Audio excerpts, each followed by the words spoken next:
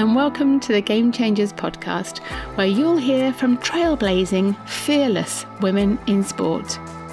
I'm Sue Anstiss, and in this episode, it's hockey legend Kate Richardson Walsh OBE. With a record 375 caps for her country, Kate was England and GB captain for 13 years, culminating in that superb Olympic hockey gold at Rio in 2016. It's such a privilege to catch up with Kate as she talks openly about the highs and lows in her incredible career and her future plans. I was lucky enough to meet Kate at the very trendy Groucho Club in London. It was quite a warm day, so the air conditioning is a little loud in the background, but hopefully that won't detract from what was a wonderful conversation with one of our country's best known female athletes. To start the interview, I asked Kate about her first memories of picking up a hockey stick. My first real um, proper memories would be playing hockey properly at school. So it would be in a it was a PE lesson, secondary school, on the Redgar pitch at Priestnall School in Stockport, and um, I think the Mrs. Kinder, our PE teacher, would have dragged out the rubbish bin full of uh, wooden hockey sticks that had seen better days, and we all just grabbed one. And I think that was my first proper hockey session. My sister and I both watched my mum play as little girls, but there was no junior section or anything my mum's club, so we couldn't play, but we did have little, um, I think, kind of sawn off hockey sticks that we would terrorise people with on the sideline. But it wasn't. We didn't properly play until we were a secondary school. And did you love it straight away? Do you think? I think I think I loved it most is, is that it was with other people because up to that point I'd been doing gymnastics and swimming and although you are around people in both of those sports, it is quite solitary. I found it quite solitary. I remember in gymnastics, my overriding memory is just being left with a mat saying, just go and do as many backward walkovers until you've cracked it.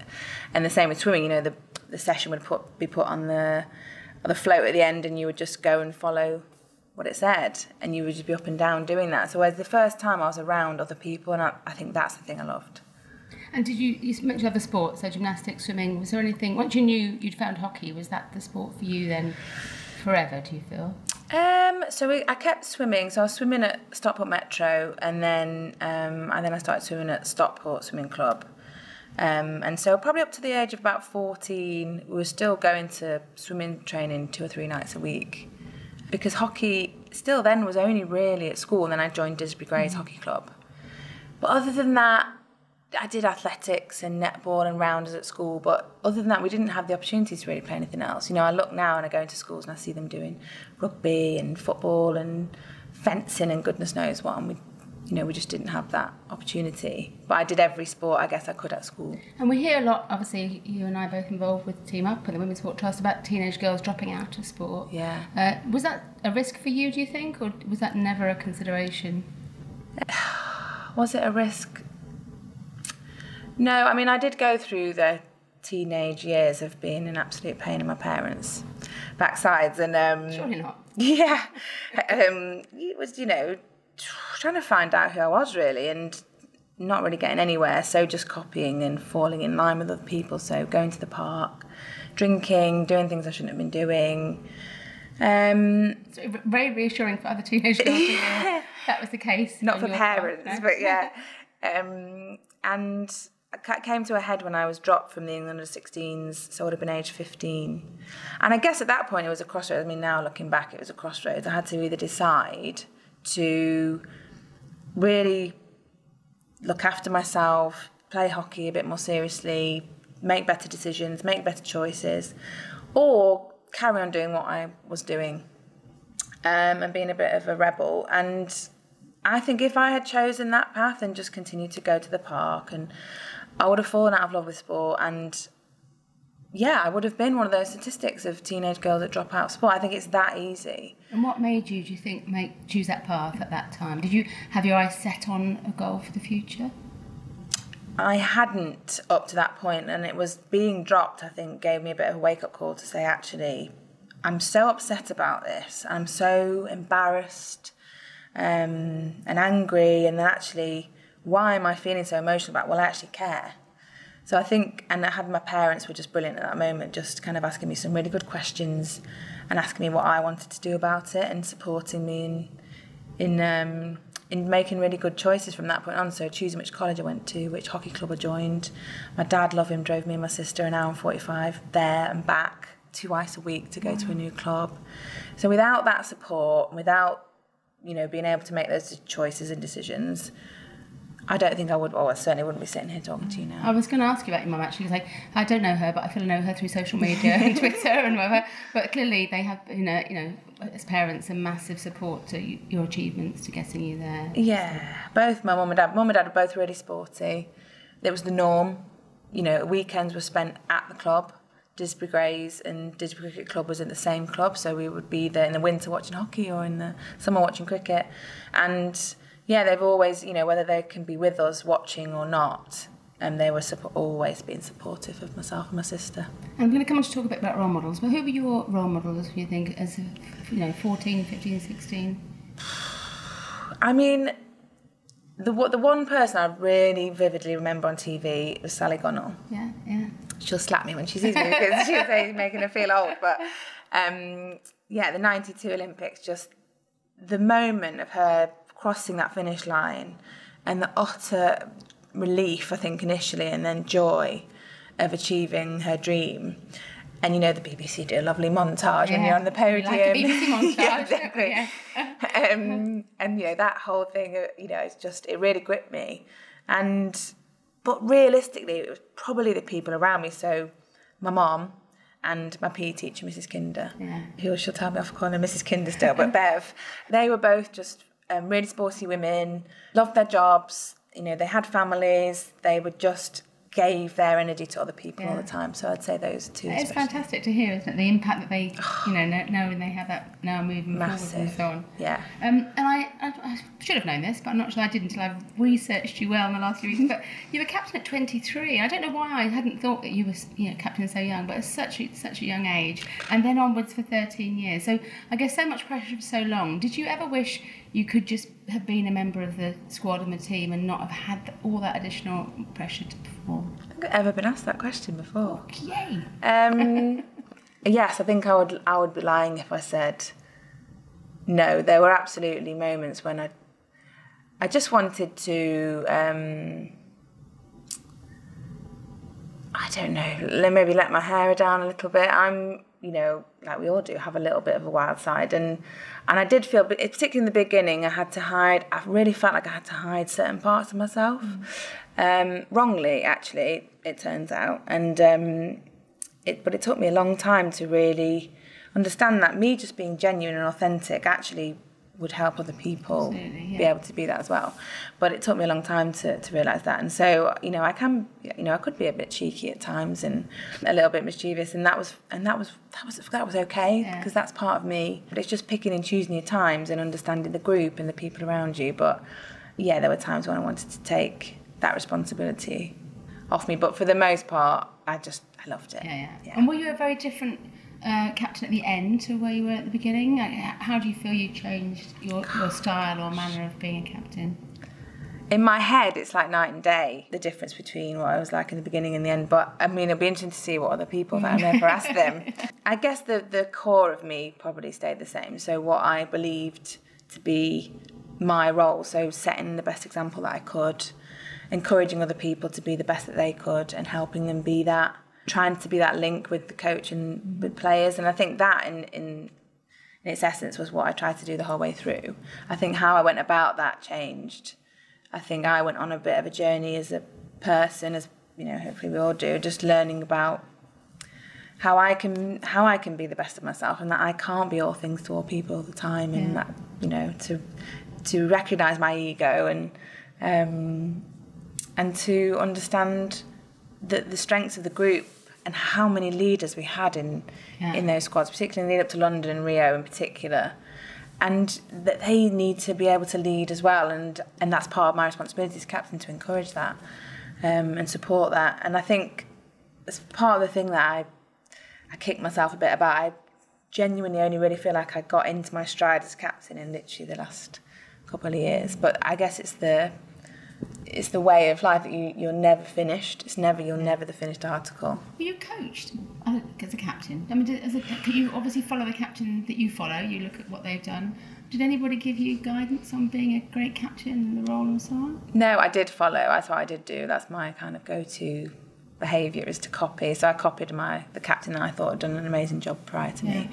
No, I just I just read a lot. Yeah. I read lots of different books. I listened to lots of different interviews and read articles and just tried to formulate my own ideas. And I guess leadership in general, and in business in particular, has become such a massive topic, and there are so, so many yeah. books. Yeah, podcasts. Exactly. Yeah. yeah. So that's kind of helped be part of that journey, yeah. I suppose. Yeah. And I'm going to obviously come on to talk about massive success, but in terms of a bit of the, the podcast is looking at overcoming mm. challenges and failures. And I, and I guess there was that time you were a very young captain, and then not getting, you know, qualifying for Athens and so on. So, mm.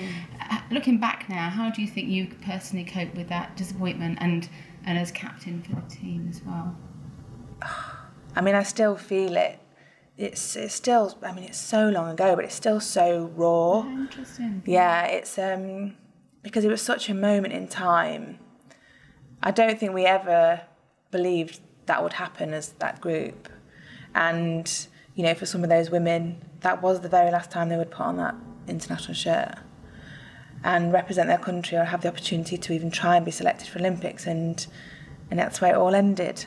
And so I it really was a fire in me. You know, I instead of it pressing me down, I used it to to continually fire me up that if I ever felt low or that I couldn't, you know, I I was there representing them and I had this opportunity and I had to take it. I, I, my mum gave me a brilliant um, picture once with a it was lightning with a quote underneath and I can't remember the whole quote but it was something along the lines of something you have to make the best of which with whichever situation you're faced.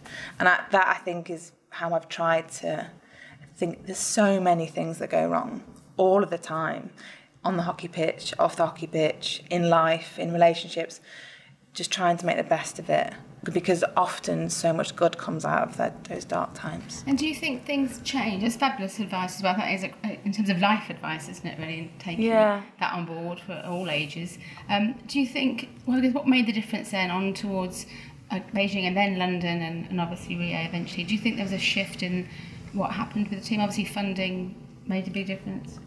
Funding made a massive difference. I think it was it was it was quite quite literally. Um, the the oh, I don't know what to say. It was the, the the calm after the storm.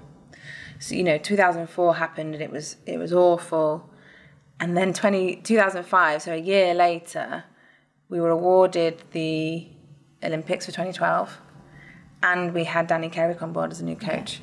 And in, in that moment, it was just some of the pieces of the puzzle started to fit together, and not immediately. And I mean, it took a took a long took a good few years to get there, but they at least started to be formed and start to see where we could go and how it might look. And that funding, that increase in funding, did really, really make a difference. So one of my questions was going to be looking ahead to Rio. Mm-hmm. Uh, what what had shifted there? But do you think it was a shift in mm, training, mentally, mental training, physical training, or was it a gradual process from Beijing that culminated in Rio? Uh, it was a real grad. It was very gradual. Um, I mean, there was one meeting when we started our centralised programme for the first time in 2009, when we sat and for the first time in this way we sat and talked about our vision our purpose who we wanted to be. And we had we had done it before. We'd had mission statements. We'd had kind of goals.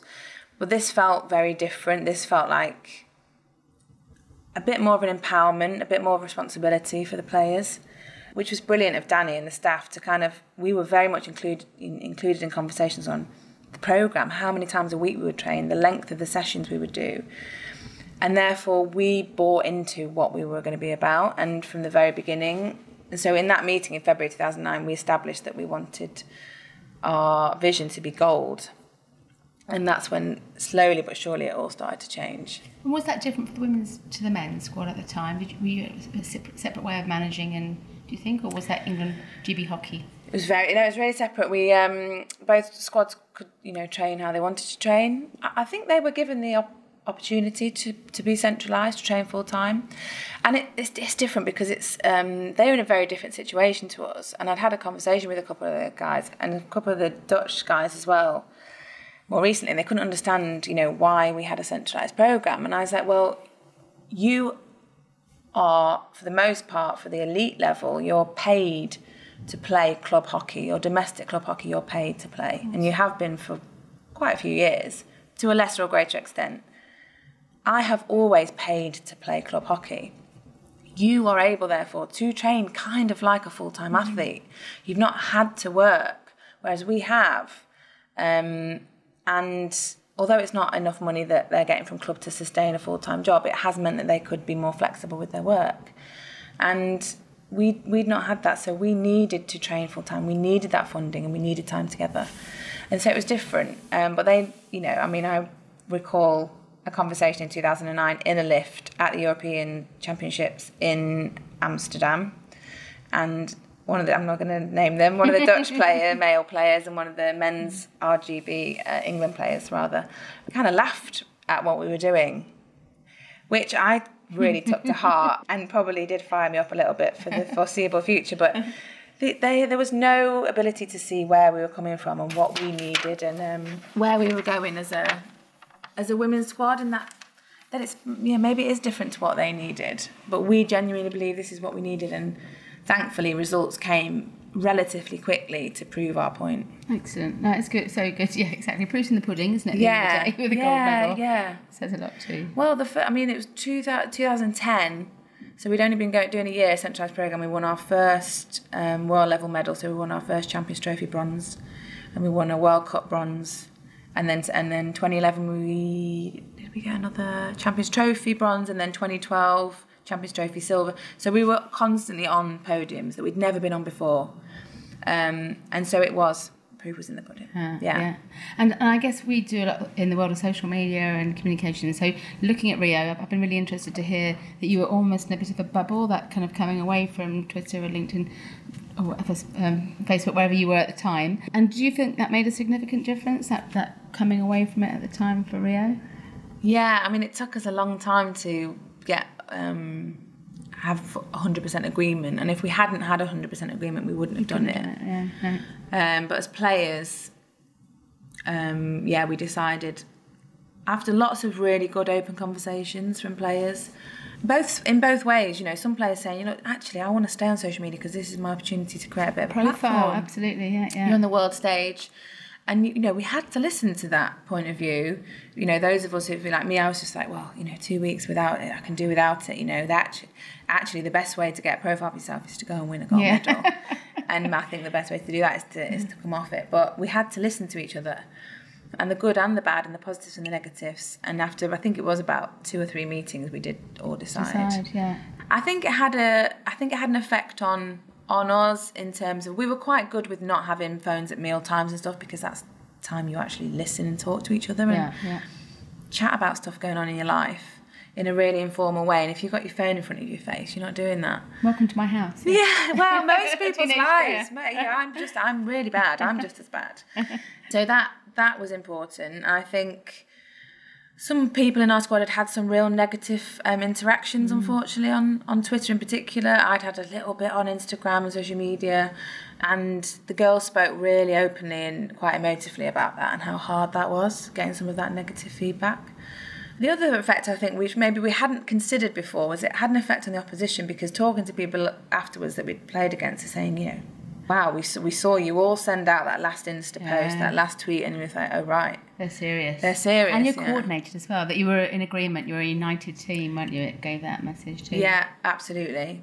And, you know, I'm under no illusions that, uh, you know, maybe some of the players of an evening had a cheeky when it's particularly when it started going well you know yeah, maybe they did have a cheeky look yeah. yeah. and you know that's that's absolutely fine it's not you know we're not Big Brother house. You know, you're yeah. you're you're human beings, and and particularly as it was winning every game, I can imagine how tempting that would be to go and have a cheeky look. But just as long as the the intent and the conversation had been had, yeah, yeah. I think that was the most important. How, how, do you deal with the negative side of social media now? Because I have to see every now and again that rears its ugly head.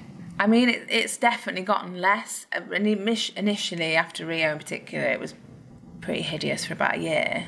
That long? Yeah, but not not, not, not like a lot. Yeah, yeah, yeah, sporadically, yeah. and not a lot compared to what other people get. My goodness, but it hurts. And I think actually just acknowledging the fact that it hurts and why it hurts is good. Yeah. And then report to and then block. Yeah. And then I just try and move on. I think actually the worst thing we had. And I don't remember how it got out to the Netherlands. It's when we were playing in the Netherlands after Rio. It must have been sent to um, to Bisham Abbey Hockey's training base, and there was a, a handwritten letter and kind of scriptures and um, things taken and printed out from the Bible and highlighted. Oh God. Yeah, That's- that was the hard yeah. because you like, wow, you've really taken some time and effort. Serious nutter. Yeah. Yeah.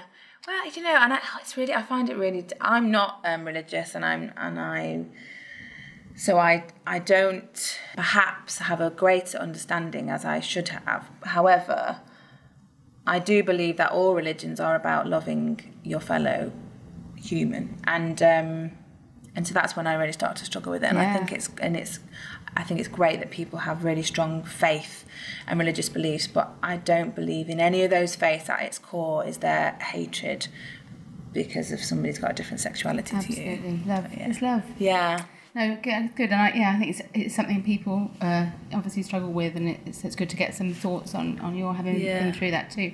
Um, I guess moving back to, to Rio and that amazing final, and couldn't have been more dramatic. And I realise you've you tell the story many times, uh, but that kind of three or uh, uh, end of final time and the penalties, you know, and I guess very dramatic for us as spectators at home, a huge excitement, not necessarily the result you'd have wanted on the day there. Um, but how did you feel? Can you take yourself back now to how you felt? And and I again, I've heard just the level of practice and rehearsal that had gone into that moment.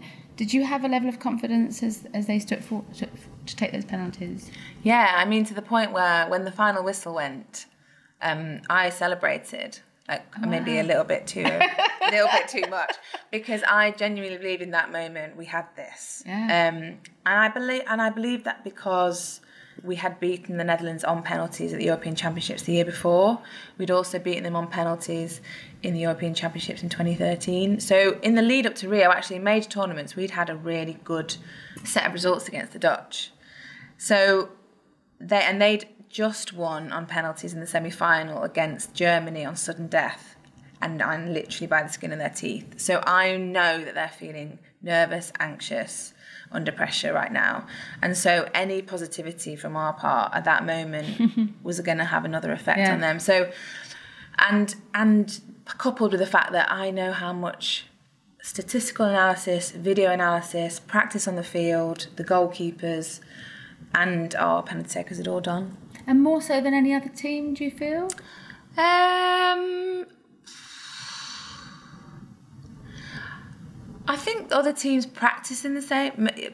I think other teams practice. Whether they practice in the same way, I don't know. Yeah. You know, our players would practice taking the walk to the 25 yard line, which is the hideous part, frankly. That is lonely, and your legs start to shake, and you realise how fatigued you are, and your mind starts to tell you that you can't do this, and you're the the goalkeeper's going to save it, and it's it's all of that psychology and the physical preparation together. That's where I'm not sure whether we had the advantage. I think we probably did. Yeah, yeah. Perhaps in the England football, actually, they're doing better in penalties, are. aren't they? But it's but it's Yeah. been a, you know, that whole nemesis of the history of of penalties being the point at which we haven't succeeded in the past. So Yeah, and I think I mean what a what a load to bear. You know, if hmm. you're a a, a men's a male England footballer and it goes to penalties, you know, I can imagine in, in, immediately you're, you're not celebrating. You're like, oh, yeah, yeah. um, because you know what every is in the mind of almost of every nation. exactly, exactly, and um, what the headline. You know, you're almost probably writing the headlines the next day, and just some of the awful things um, they've had said about them, written about them. People do, you know, burning effigies and all sorts because they've missed a penalty.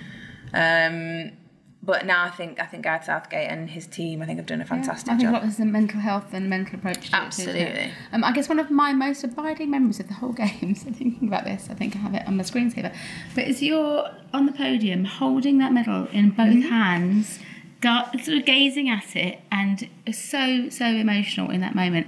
So as I ask you now, can you remember how you yeah, you clearly can. Yeah. how, what what you were feeling at that moment in that moment. Just so grateful and proud. It was almost a very quick flashback, you know, to through everything that I'd been through to get to that point.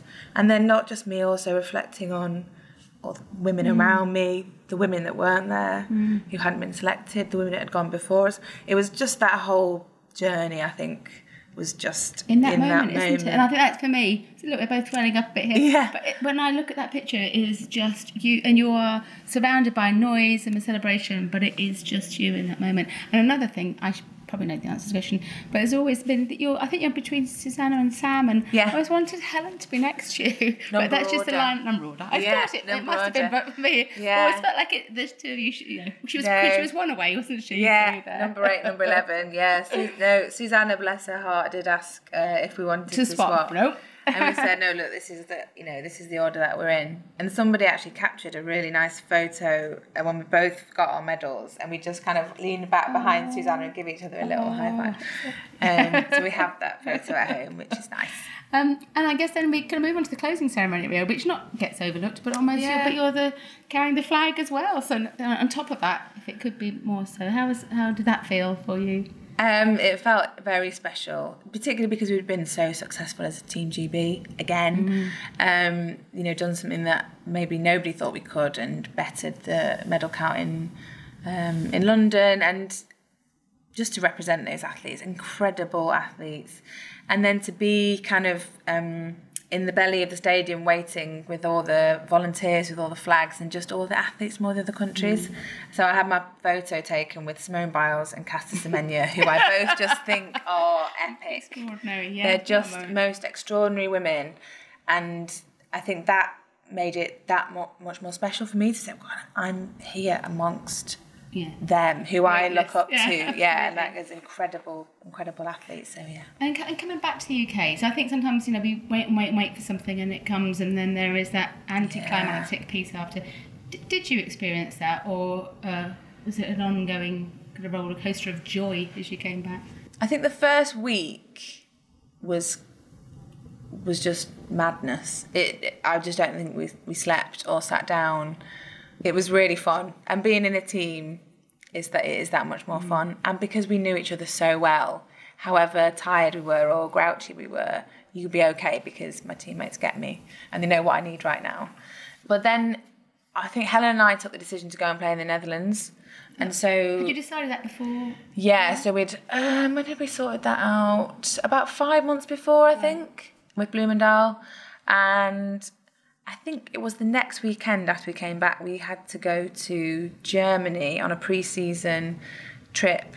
Now we didn't play with Bloemendaal, but we went to go and watch and be part of the meetings and talk and meet the girls and be part of the team so that and they did a really nice celebration in our in our hotel room they'd put balloons and things remember seeing, did you everywhere yeah, they made shirts. Yeah. Oh, they were they're so good.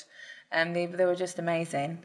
So, and I think that was the best decision we could have ever made. To move yourself from that the madness that, that was. Yeah, and I think for I mean, lots of the girls who were still here, some who were going to continue playing, you know, there was the reality, and then it just felt like they were going to awards. I remember Yeah. seeing on Twitter they were just at awards every week, and I was like, wow.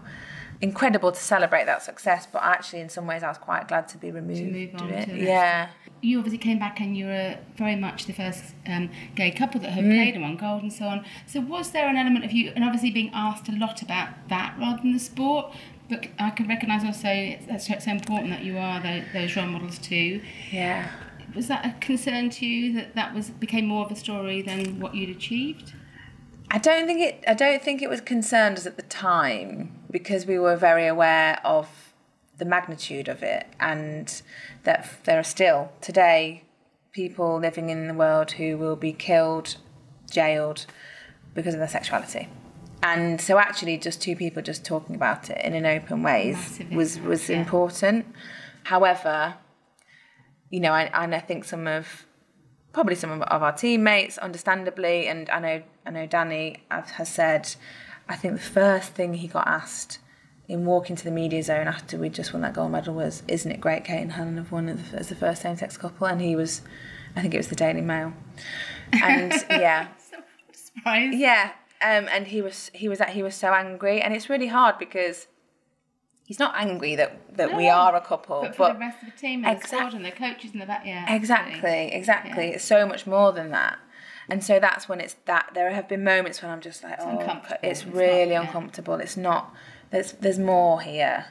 Do more. Be better. Look at the wider thing. And this is a lovely part of it. Yeah. But there's there has been a lot that's just focused on that, and that's hard. And I guess at sport, you know, we work a lot with, with rugby and cricket, and it has been a place where women can very comfortably be themselves, be lesbian, be bisexual, but not so for, for men across team sport. And I and I guess that ma- makes me really sad. When you look at the, the proportions, there must be many men that are not living a, a happy life that they would wish to. Do you think that will change anytime soon? I think we are moving towards that place. Like, do you know, even in women's sport, there there are still there are still lots lots of women living a double life. Um, and that's completely up to them, of course. You know, nobody has to, to be open with their private lives. It's a private life. So you can keep it to yourself. But um, It's sad that they can't be themselves. it's that. It's if that, you feel yeah. like you can't be, then there's, you know, then it, I think it's things need to be looked at. So I, I think women's sport is better, particularly at grassroots level. I think it's much better, but I think elite level it's still quite, they're st- still quite quite closeted actually. Because it ha- it will impact your, in theory, sponsorship, profile, media, all those things. Yeah, and you know what? Maybe they don't want the whole focus to be about the fact that they're bisexual and Yeah. lesbian, and actually, they just want to talk about Sport. Sport, Yeah, exactly. And I think that's probably a, quite a big fear uh, and a real fear. And then for, for men, there is that plus the stereotypical traditions of what it means to be a man and what it means to be a man that plays sport. And I think that the next generation coming through will demand that those traditions Yeah, and stereotypes are broken. Um, and I think, unfortunately, I think it is just time. Yeah, yeah. I think people are becoming to be well more educated, but that's why you know that's why education in schools is so important. Yes. And it's not about promoting anything. It's not about talking about anything's better or more than. It's just an acceptance of difference. And then, in order to accept difference, you have to learn about it and understand it. And I think that has to start at the youngest age. And that's a massive debate at the moment um, with government in terms of what relationship education and and etc. And I and I genuinely believe that's where it needs to be. Yeah, no, yeah.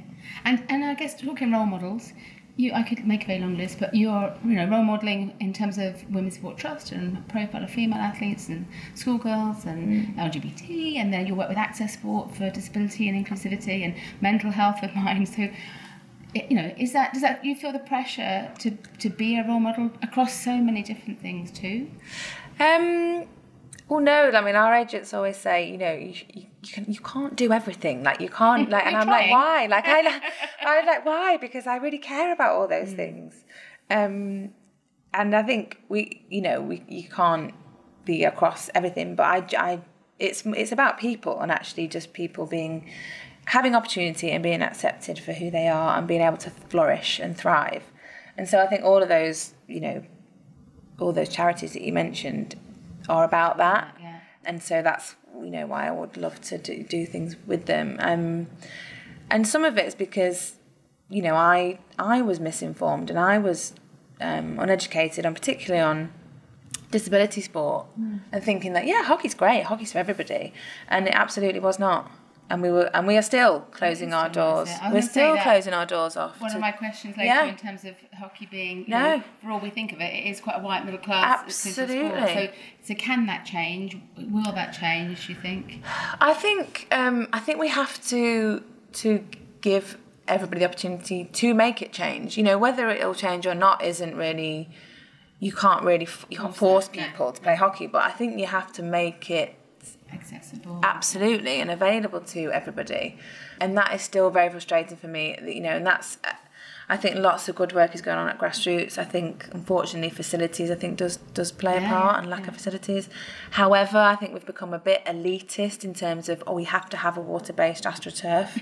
I played on Redgra. It's basically concrete. You can play on any surface, so let's just get people playing.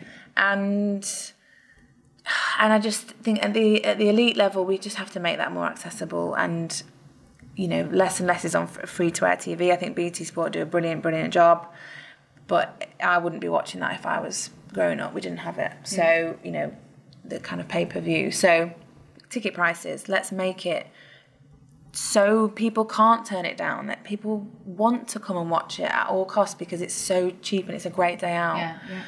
rather than trying to, you know, pay for everything through the tickets. I think that's just wrong. Excellent. No, good. I, I, Yeah. Here, here. Uh, and in terms of, I guess, moving on, to, if I can, to your transition almost from sport, we have touched on that, obviously, in terms of your role, role model work and so on. But how have you found that transition over the years from coming out from full time professional training with a squad, knowing your routine each day, to life, to life, and a very busy life? But how do you feel that's been for? Um, I found it really hard. Probably still find it hard.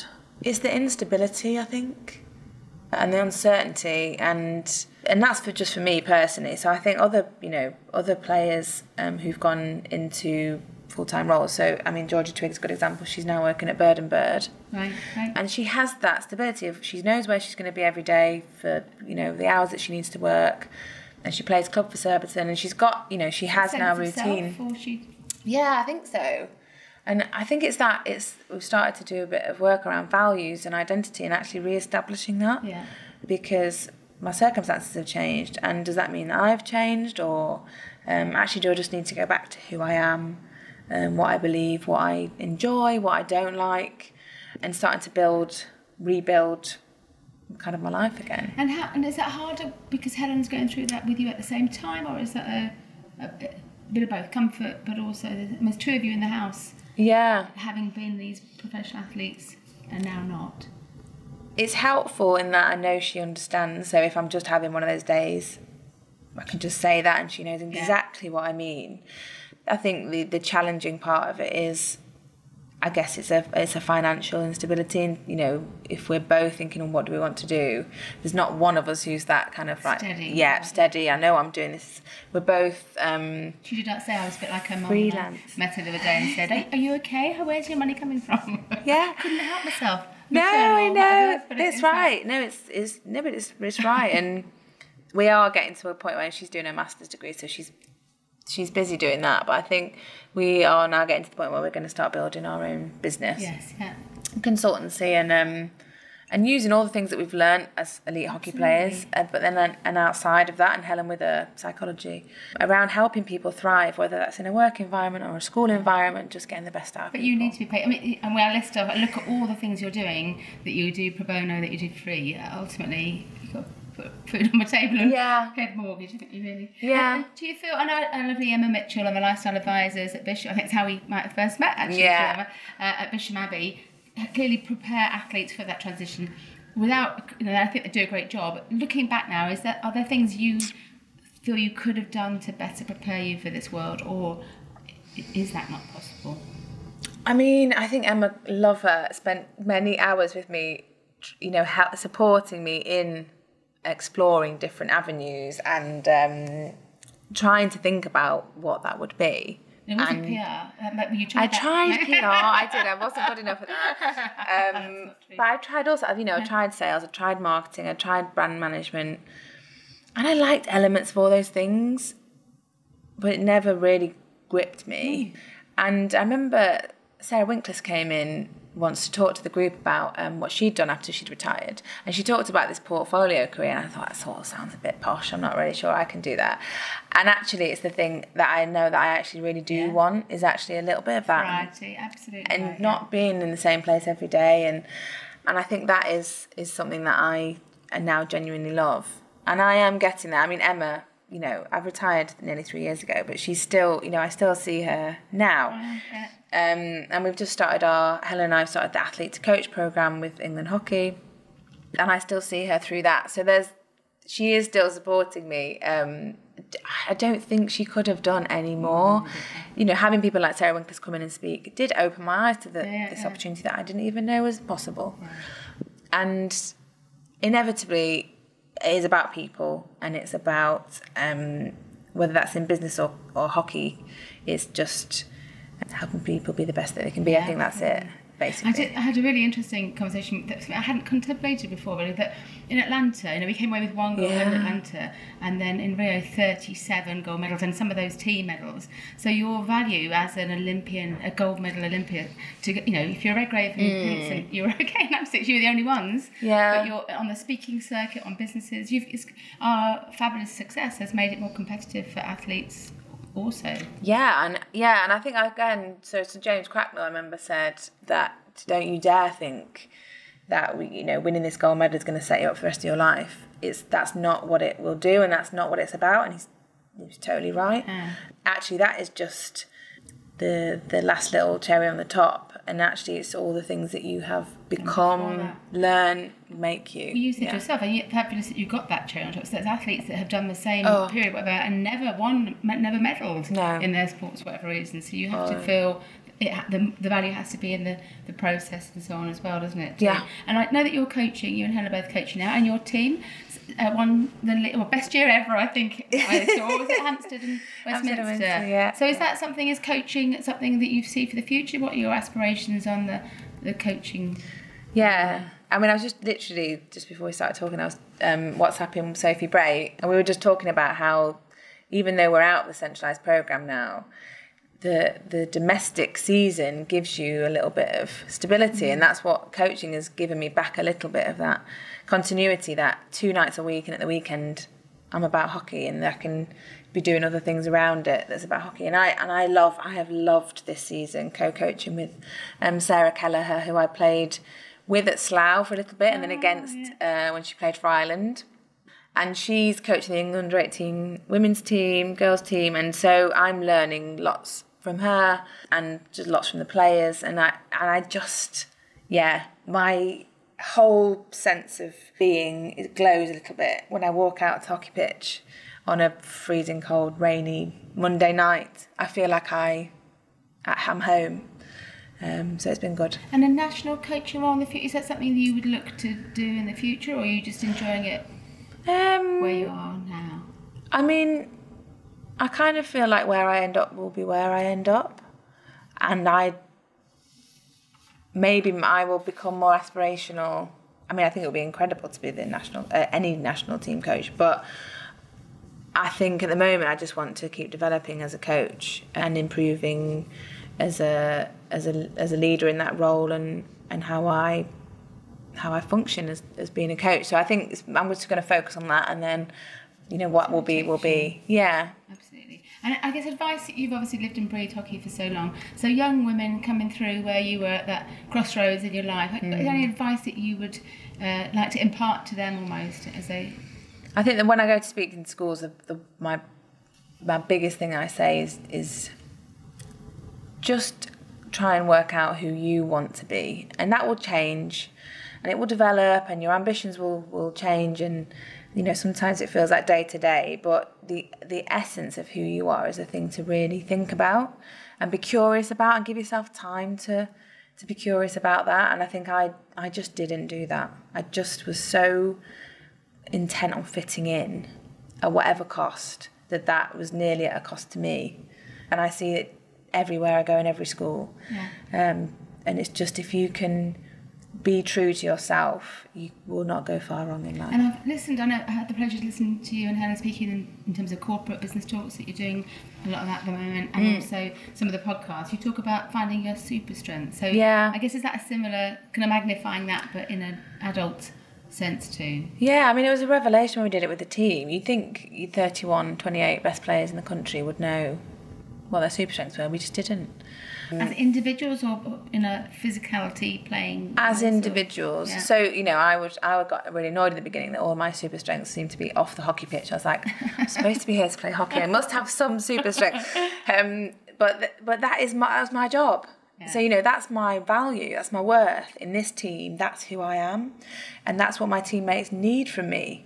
And, and actually, in that way, they can demand it from me. And so, in me knowing my strengths and you know my strengths, we can both get the best out of me, I can help get the best out of you. And then to collectively, all those little percentages add up to us all thriving and the team thriving. So, when we got there, when we did that, it was just, it was just amazing and the, and one of the biggest differences I think. And when did that happen? Was that early? So the first time we did it was I think it was 2011.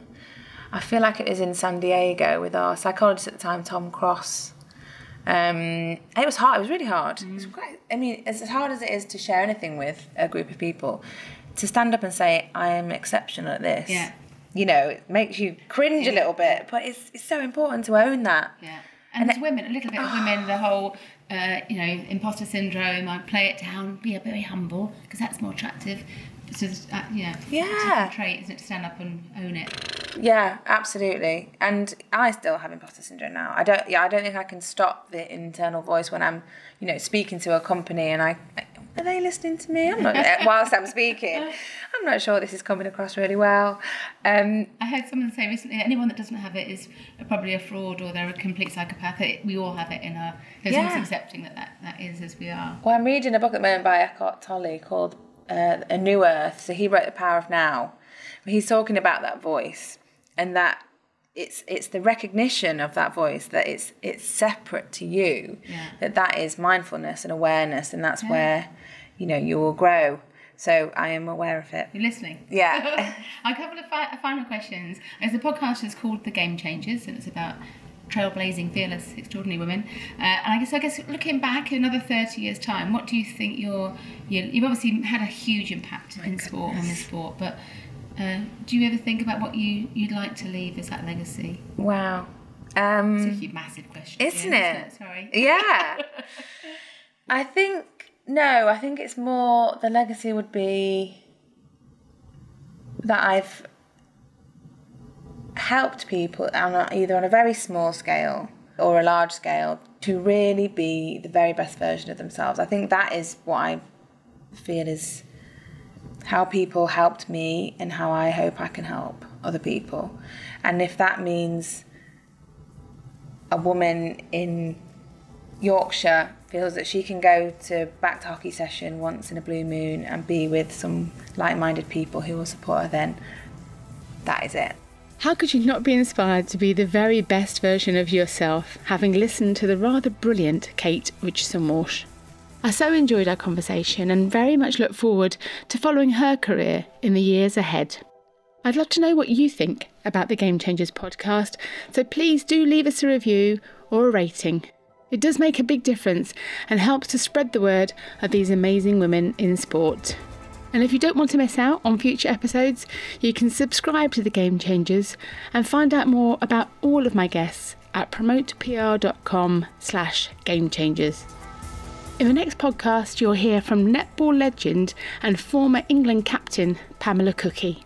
Pamela was the face of England netball for 11 years with 110 caps, and she's the only player to have won seven league titles.